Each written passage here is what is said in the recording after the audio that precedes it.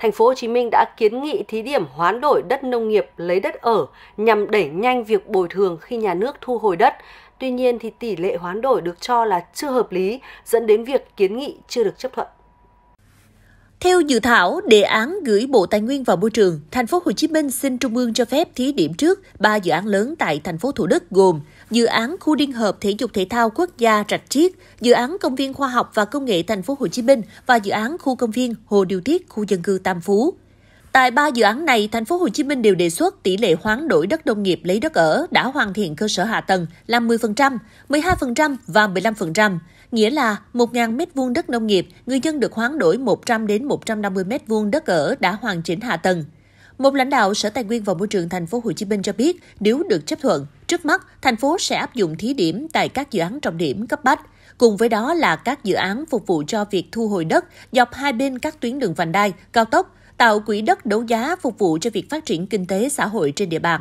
Cũng theo lãnh đạo này, trước khi luật đất đai 2013 có hiệu lực, thành phố Hồ Chí Minh đã triển khai áp dụng thành công phương thức hoán đổi tỷ lệ bồi thường 7 đến 15% ở hàng loạt dự án và đã thành công.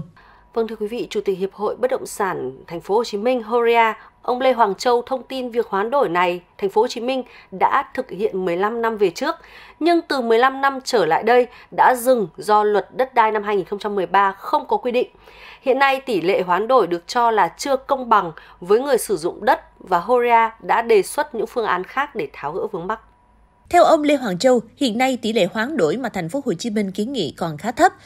Do đó, Huria đã nhiều lần đề nghị bổ sung cơ chế hoán đổi đất, đồng thời đề xuất hai phương án. Phương án 1, hoán đổi cho người dân có đất, doanh nghiệp lấy làm dự án thì bằng chỉ tiêu nhà nước duyệt tỷ lệ đất ở cho dự án, nhưng người dân phải bồi hoàn chi phí doanh nghiệp làm hạ tầng. Tuy nhiên, phương án này vẫn tiềm ẩn rủi ro cho công chức vì phải khấu trừ tiền làm hạ tầng, mà khấu trừ thì khó tính toán và dễ phát sinh tiêu cực.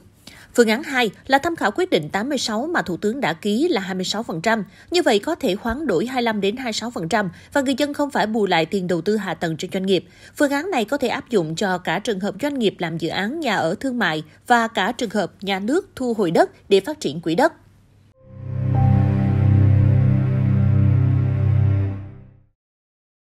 Chúng tôi biết bạn có nhiều lựa chọn và chúng tôi luôn là sự lựa chọn tốt nhất. Đăng ký kênh youtube Báo Thanh niên để cảm nhận nhịp thở xã hội đầy màu sắc trên màn hình của bạn.